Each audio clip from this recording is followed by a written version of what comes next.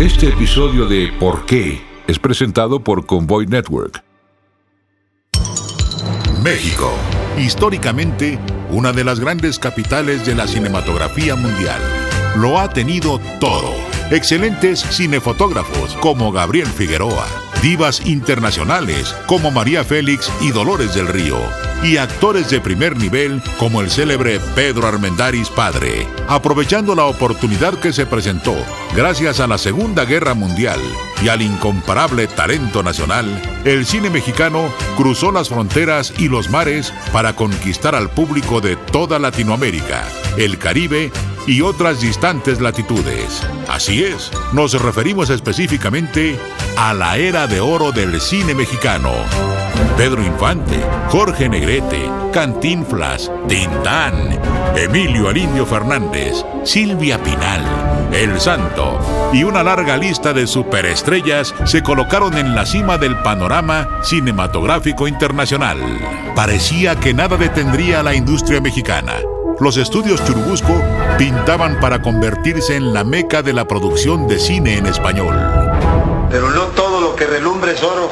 Pero a partir de la segunda mitad de la década de los 60, nuestro cine entró en crisis, misma que se agudizó severamente en los años 70 y 80 con el llamado cine de ficheras. Tengo un pájaro que ríe y canta y quisiera saber por cuánto me lo ataranta. Producciones de muy bajo presupuesto y cuestionable calidad y gusto arruinaron el prestigio que se había construido durante décadas.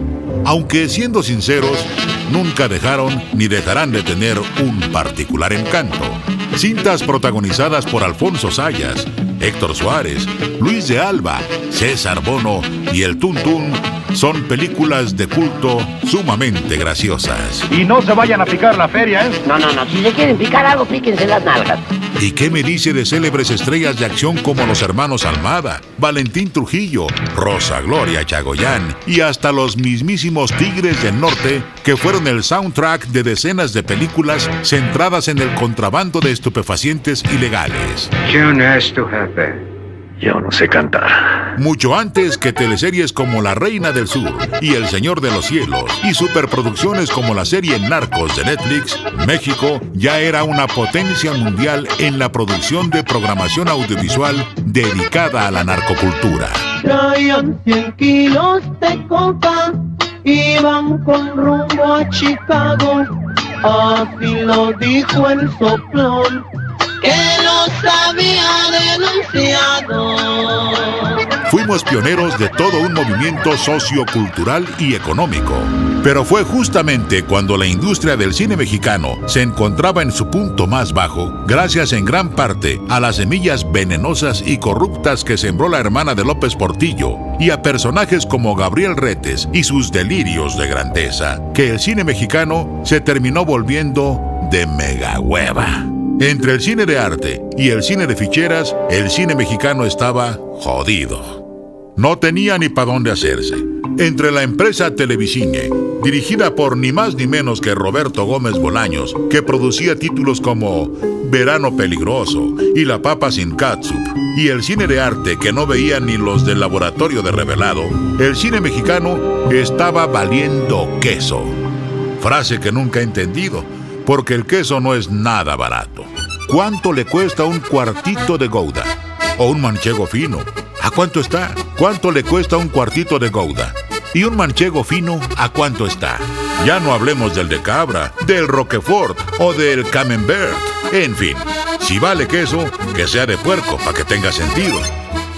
Pero bueno, en algún punto nos quisieron vender que se estaba gestando un nuevo cine mexicano. Al poco tiempo surgió otro movimiento que se hacía llamar igual y al año siguiente otro. Total que el nuevo se hacía viejo cada 15 días. Hasta que llegamos al nuevo, nuevo, nuevo, nuevecito, nuevazo, recién salidito del horno, cine mexicano de riguroso estreno. Sexo, pudor y lágrimas. Este verano solo en los mejores cines. La realidad es que no fue hasta finales de la década de los 90 que con una renovación radical de las salas de exhibición, gracias a la llegada de franquicias como Cinemark y Cinemex, y el renacimiento de los cines de la organización Ramírez como Cinépolis, y gracias al lanzamiento de la película Amores Perros de Alejandro González Iñárritu en el año 2000, seguida por la cinta Y tu mamá también de Alfonso Cuarón en el año 2001, que el cine mexicano realmente empezó a salir del coma creativo y económico en el que se encontraba atorado. Tanto la exhibición de cine en México como el cine mexicano volvió a ser relevante y hasta aspiracional. Sin embargo, el negro González Iñárritu, inmediatamente después del éxito de Amores Perros, se mudó a Hollywood. Cuarón se regresó al cine industrial primermundista para unirse a la exitosa franquicia del mago adolescente Harry Potter. Y Guillermo del Toro ya se había ido hace muchos años a hacer cine con los hermanos Weinstein, con Almodóvar o con quien sea que no fuera el IMCINE. Los triamigos, como son conocidos en la industria estadounidense, se fueron para jamás volver. Bueno, Cuarón vino a filmar una cinta aquí con presupuesto de Hollywood y después de filmar en la Luna. Pero, ¿cuál es la realidad actual del cine nacional?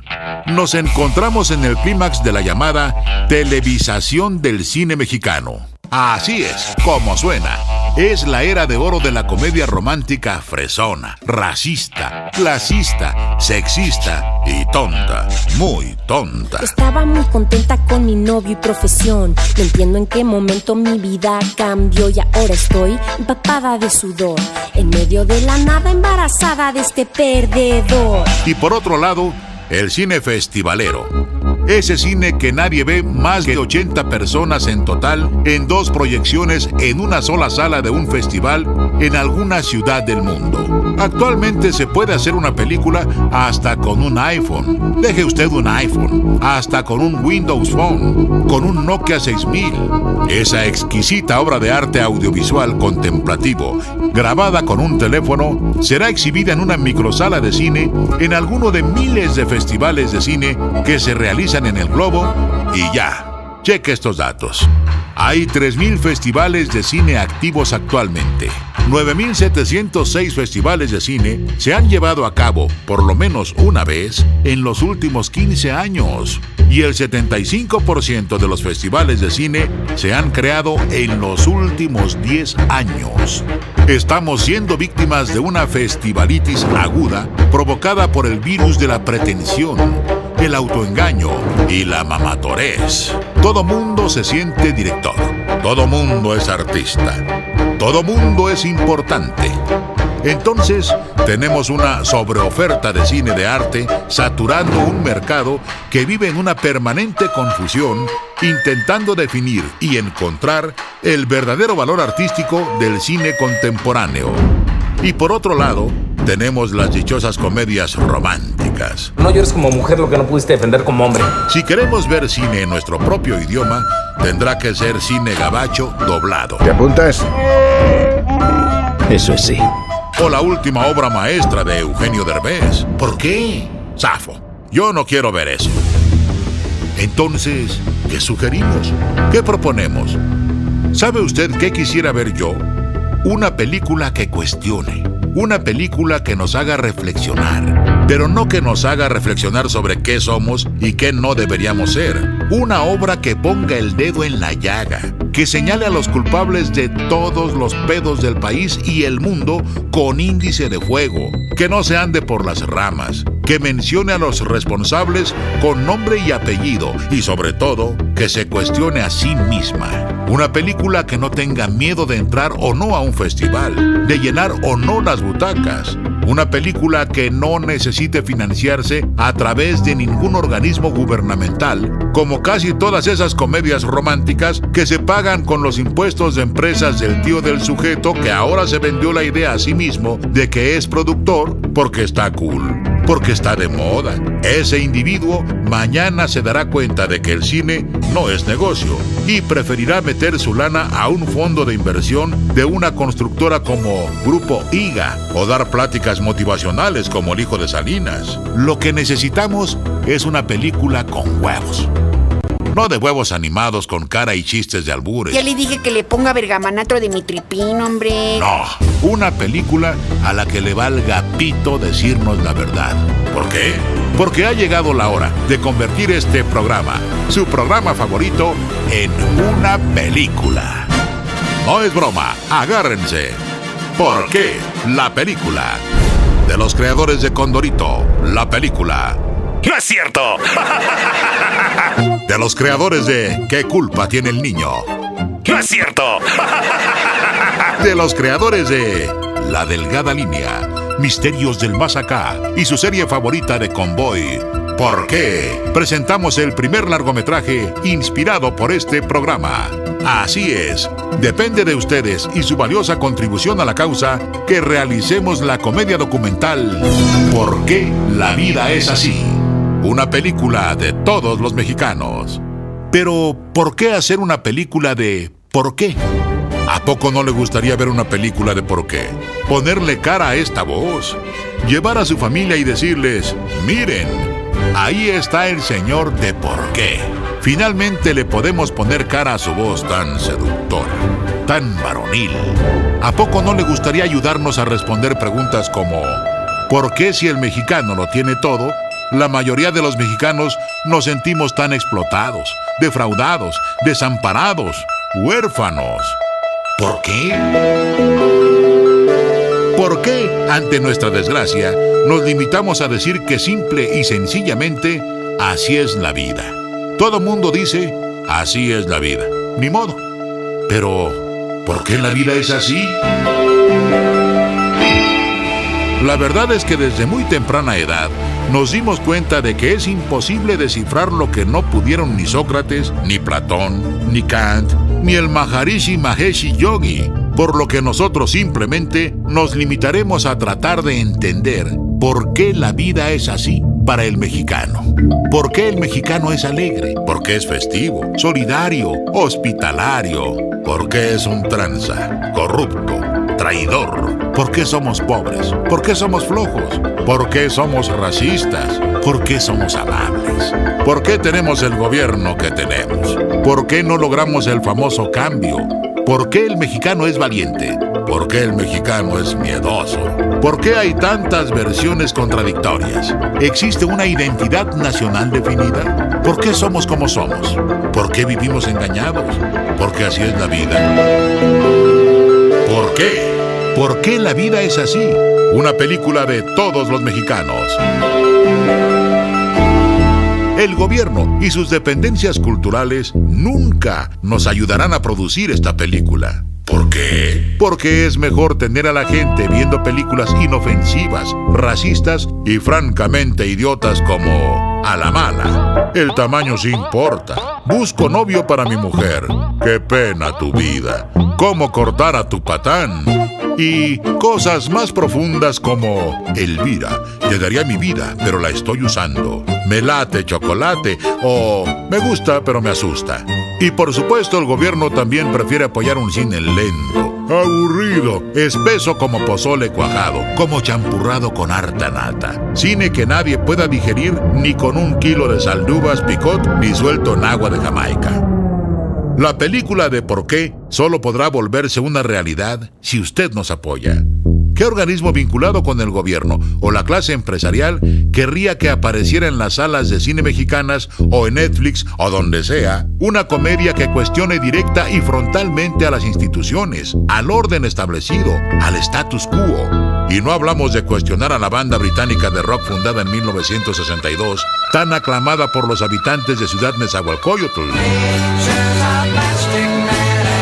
No, hablamos de preguntar por qué la Secretaría de Educación Pública está al servicio del adoctrinamiento nacional en lugar de contribuir al verdadero desarrollo cultural e intelectual de los mexicanos.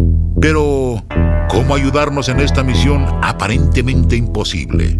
Es muy fácil. Ustedes pueden convertirse en los patrocinadores oficiales y obtener un DVD firmado por el equipo de guionistas, investigadores, psicólogos, antropólogos y filósofos detrás de por qué, hasta conseguir un crédito como productor ejecutivo en una lámina independiente al principio de la cinta. Así es. usted puede ser uno de los productores de ¿Por qué la vida es así? Participar en la filmación, ser parte de la edición, asistir a la primera exhibición y por supuesto a la gran premier, donde usted podrá conocerme, estrechar mi mano y en una de esas tomarse una selfie conmigo. Óigame, ¿qué más quiere? Seguramente se pregunta, ¿cómo puedo ayudar a esta noble causa? Apoyándonos con su donativo en kickstarter.com. Todos los detalles y recompensas estarán muy pronto disponibles en la plataforma de fondeo colectivo Kickstarter y en el sitio porquelavidaesasí.com. Escuche la transmisión y los programas en vivo de Convoy para estar actualizado con todo lo que ocurra relacionado con ¿Por qué la vida es así? No lo olvide, usted puede llevar este programa a la pantalla grande. Usted puede ayudarnos a combatir ese cine que no nos deja nada más que la mente en blanco. Ese cine que solo llena el carrusel del catálogo de las plataformas digitales para que parezca que ofrecen muchos títulos. Usted puede ayudarnos a contrarrestar todas esas nacadas que se producen todos los días. Usted puede ser el antídoto que nos ayude a contrarrestar el efecto destructivo y mortal del veneno cultural promovido por el entretenimiento corporativo. No faltará el que piense que nuestra lucha es inútil, que solo perderemos el tiempo y que la comedia romántica seguirá idiotizando a los mexicanos por los siglos de los siglos, que no hay nada que hacer. ¿Por qué? Porque así es la vida, ni modo. ¿Será? Precisamente por eso nos debemos preguntar, ¿por qué la vida es así? Una película de todos los mexicanos. Próximamente en cines, si usted así lo decide. Convoy.